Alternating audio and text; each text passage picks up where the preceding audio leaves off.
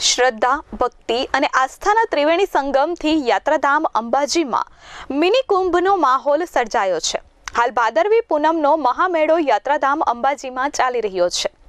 ત્યારે શ્રી આરાસુરે અંબાજી માતા દેવસ્થાન ટ્રસ્ટ અને બનાસકાંઠા જિલ્લા વહીવટી તંત્ર દ્વારા ભાદરવી મેળાને યાદગાર બનાવવા શક્તિપીઠ સર્કલથી માતાજીના મંદિરમાં પ્રવેશવાના મુખ્ય ગેટ શક્તિ દ્વાર સુધી અને મંદિરના ચાચર ચોક અને મુખ્ય મંદિરને અદ્ભુત અને આંખોને આંજી દેતી મનમોહક રોશનીથી સજાવવામાં આવ્યો છે.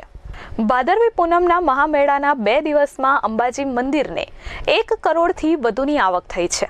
જેમાં છાસઠ લાખનો તો પ્રસાદ વેચાયો છે.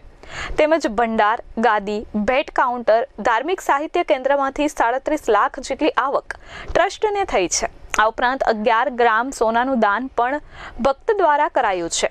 અંબાજી મંદિરમાં બે દિવસમાં સાત પોઈન્ટ તેતાલીસ લાખ ભક્તોએ માતાજીના દર્શન કરી ધન્યતા અનુભવી હતી. અંબાજી દેવસ્થાન ટ્રસ્ટ અને જિલ્લા તંત્ર દ્વારા અંબાજીમાં શક્તિપીઠ સર્કલથી માતાજીના મંદિરમાં પ્રવેશવાના મુખ્ય ગેટ શક્તિદ્વાર તથા મંદિરના ચાચર ચોક અને મુખ્ય મંદિરને અદ્ભુત અને આંખોને આંજી દેતી મનમોહક લાગતી રોશનીથી સજાવ્યું છે. શક્તિદ્વારથી મંદિર જવાના માર્ગ પર રોશનીની એવી જમાવટ કરાય છે કે જાણે આરાસુર ડુંગરની ગિરિમાળાઓમાંથી અસંખ્ય આજ્ઞા માં અંબાના અવસરને પ્રકાશિત કરવા ઉમટી પડ્યા હોય. રોશનીનો આવો ઝગમગાટ ક્યાંય જોયો નથી, તેવું શ્રદ્ધાળુઓ કહી રહ્યા છે. થાકનો થનગનાટ ક્યાંક જોયો નથી. ગુજરાત તો ઉત્સવો, પર્વ અને મેળાઓની ભૂમિ છે, પરંતુ તેમાંય અંબાજી શક્તિપીઠની વાત જ ન્યારી છે.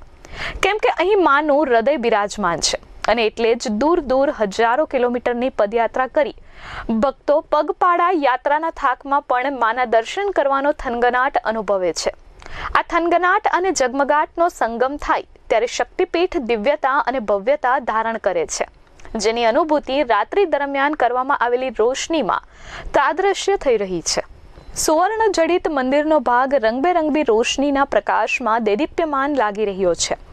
અવનવી રંગબેરંગી રોશની જ્યારે માના ચાચર ચોકમાં પથરાઈ, ત્યારે જાણે કોઈ પ્રકાશ પુંજ પથરાયો હોય તેવી અલૌકિક આભા સર્જાય છે.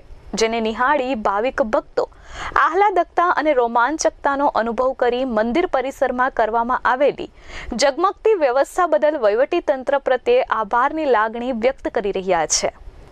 Umesh Panchal S twenty four news Ambaji.